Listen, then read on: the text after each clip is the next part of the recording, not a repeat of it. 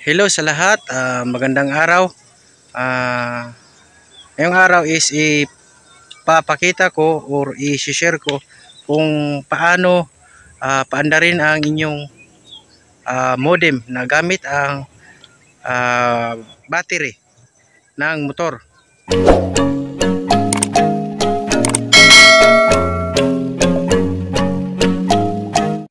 So, nandito ako ngayon sa area kasama ang aking mga ah, kasama is magkakabit kami ng ah, ah, wifi sa area na ito. So, ang area na ito is ah, pababa. Kung makikita nyo, mab- ah, may nalilibutan ng bundok tapos ah, yung mga bahay is nandun. So doon namin itatapon yung internet. So kapag doon nagtayo ng tower is wala talagang makukuhang signal. So dito kami ngayon sa bundok. Ayan. Yun yung dalawa kong kasama. At itong isa. Ang ginagawa nila is piniprepare nila yung ah paglalagyan namin ng antena. Itong gagawin namin ngayon is ah, ah, signal hunt muna. Maghahanap kami ng signal na pag tatayuan namin ng monopole. Ayan, binubutasan niya yung ah, lupa para diyan namin ilagay yung kawayan para hindi kami mahirapan sa pagpatayo. So yung isa naman is piniprepare ni G-Boy ang hybrid antenna. Hey, okay na ba yan? Yan, piniprepare niya kasi ang hybrid antenna ang gagamitin namin pang ah, signal hunt. So as you can see sa lahat ng area na ito is nalilibutan ng bundok.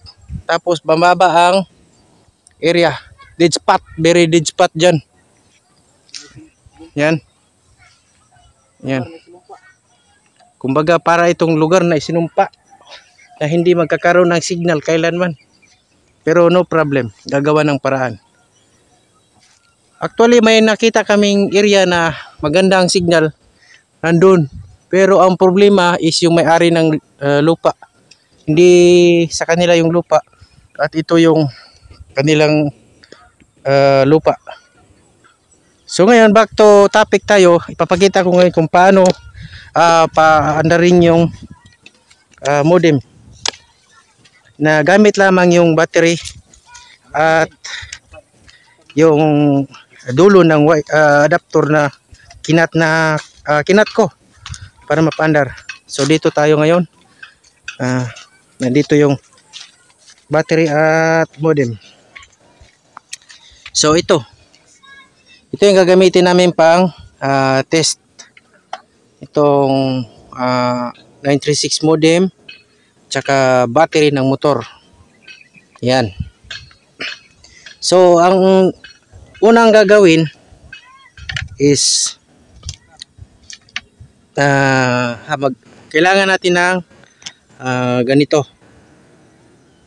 Yan ito yung makikita natin na sa mga dulo ng ah, adapter yan And then, idugtong natin sa uh, wire na may uh, positive at negative na sign para hindi tayo malito.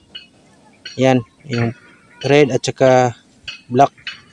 And then, kailangan mga uh, 2 to 3 meters yung taas ng wire para yung current ng uh, kuryente is hindi masyadong rekta or ah, hindi masira yung ah, modem. So ngayon, ipapakita ko kung paano siya paganahin. So, yan. Meron tayong clip dito na red with symbol as positive. So, kabit natin yan dito sa positive. Ayan. No need na ng inverter. Kasi Amos, ah, kadalasan is ginagamitan ng inverter para ilalagay dito yung inverter and then ah ah isasaksak na naman yung ah, modem sa inverter. So itong ah, pam- paraan na ito is pwedeng pwede. Kana ka boy? So ito na isaksak naisaksak na namin o naisaksak ko na yung red ah, positive and then itong black na naman. So ayan. Hepa ayan. So walang walang ano to ha, walang camera tricks. Ayan. Hmm, tayo lang natin. Ang problema nito is mahina yung mga bulb ng modem. So ayan. Hindi masyadong ma Ayaw no. Ilaw to. Ayan, umilaw na. Ayan no. Ayan. Ayan, nag-red na. Red siya kasi ah, walang signal dito. Ah, at this time, ito muna ipapakita ko. Ne- ah, next vlog, yung paano namin ikabit or paano namin matest yung ah, signal dito. So, ayan. So, work, ah, nag-work siya, no? Gamit lang yung ah, battery. And then, mga 3 meters yata to. Oh, 3 meters. Huwag niyong gawing 1 meter kasi ang tendency is baka masira itong ah, modem. Kailangan to 3 ah, 2 to 3 meters. Pwede na 'yon. Para yung habol kasi natin is yung current ng kurente is hindi dire-diretso. Ayun. So yun mga sir, mga boss is nakita nyo na kung paano paganahin ang ah inyong modem na gamit ang ah, battery lamang ng motor na hindi na gagamit ng ah, inverter. Ah, direct 12 volts.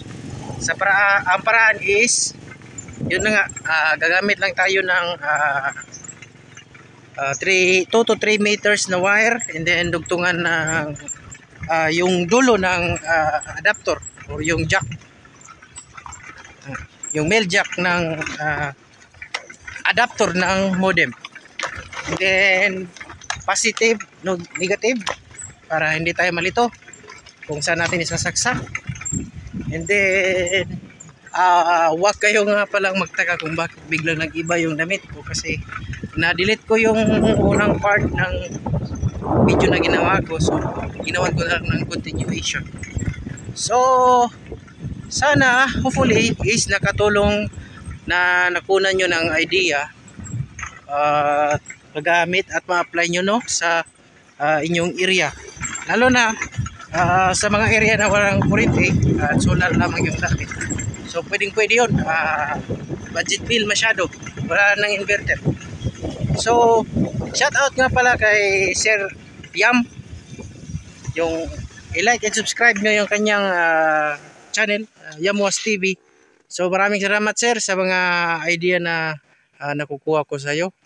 at maraming salamat din sa mga lahat ng subscriber natin at mga ah, individual na na grupo o yung sumusuporta sa aking mga vlog. Ah, hindi ko na kayo iisa-isahin. Ah, alam nyo na kung sino kayo. At hanggang doon na lang. At abang-abang na naman muli sa mga susunod nating mga ah, informative video. So huwag kalimutan mag-like and subscribe sa ating channel para ma-notify kayo if ever meron kaming mga ah, bagong bidyong gagawin para ah, makunan nyo ng idea. So, bye-bye!